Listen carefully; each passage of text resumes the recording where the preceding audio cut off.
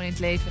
Ik moet trouwens wel even zeggen, Rick, je plakt een beetje. Wat is er nou weer aan de hand? Ja, je plakt een beetje en dan niet jouw eh, lijf als zijnde. eh, Het Ik kan soms hebben het heel lekker plakken. Ja Veldhuis. hoor. Nee, eh, je plakt op een sticker. Ik heb zojuist een sticker in de handen gedrukt gekregen. Ach ja, Door jouw promotieteam. Ja, je hebt een echt promotieteam. verschrikkelijk. Niet met eh, dames in korte rokjes, Nee. maar eh, een, een, een kleine delegatie van je promoteam. Twee le- leuke jonge mannen die hier nu in de studio zijn. Leuke jonge mannen. Die hebben.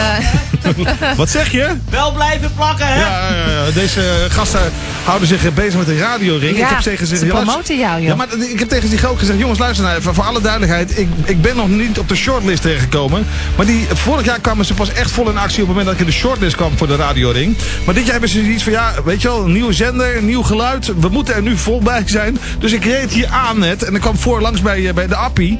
En ik had echt zoiets van, oh mijn hemel, geen enkele boom zonder zo'n eh, zonder zo'n poster. hangen er, hè? Spandoeken hangen er, hangen er. Het kan toch ook niet gezond zijn. Bestaat er bij jullie geen crisis, mannen?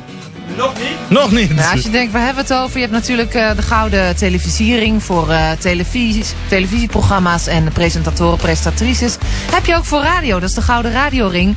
En ja, morgen Rick van eh, natuurlijk ons allen, Rick van Veldhuizen, is daarvoor, staat daarvoor op de longlist. Longlist, hè? Eh, evenals wat andere Radio Veronica programma's, waaronder ook Zomertijd. En nou ja, je kan allemaal gaan stemmen. Ehm, op de televisier.nl, daar kun je een linkje vinden naar radio. Daar kun je jouw favoriete programma's en mensen nomineren. En ach, als je dat toch doet, denk dan even aan deze grote lobbes die hier naast me zit. Rick van Veldhuizen van Morgen, Rick. Ja, en nou nou- houden we erover op.